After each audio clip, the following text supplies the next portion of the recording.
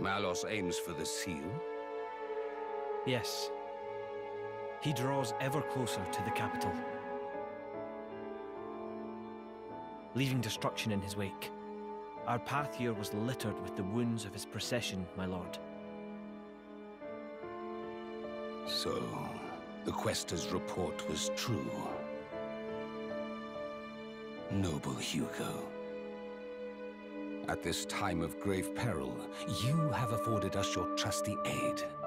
Your due will be our eternal thanks. I'm scarcely worthy of it, your majesty.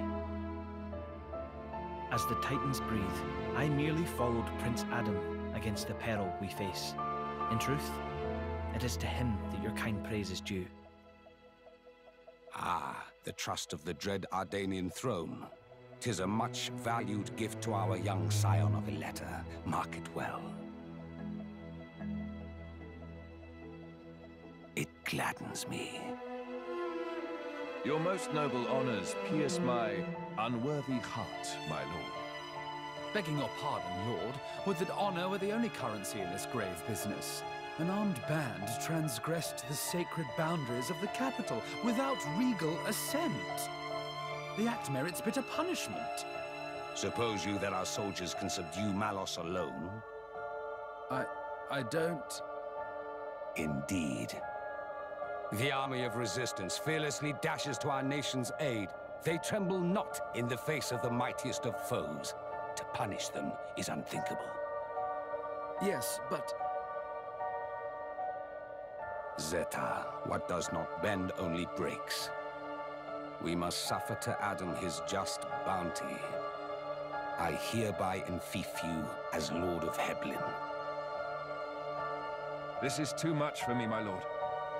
First, I must busy myself with the command of the Resistance Force.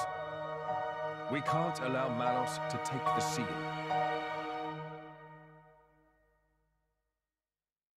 I'd be much obliged if you could grant permission for the Resistance to move freely within your lands, Lord. As you wish. Brave soldiers of Torna, hear your king. Our country must make its own sacrifice to halt the terrible power of the Aegis. Indol, too, pledges its flesh and blood to the cause. I humbly confess that it was my own lack of foresight which brought us to this pass.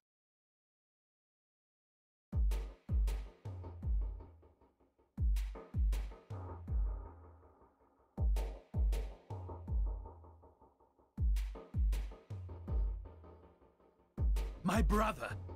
Or rather, my lord, what is your aim? Why give Heblen to Addam? He has declined our offer.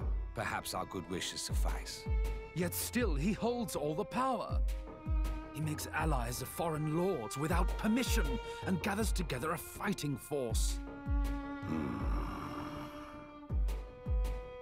Zeta, my brother. Hear me well. The sickened world rests heavy upon my crown. I fear too heavy for my mortal neck. Ma Majesty!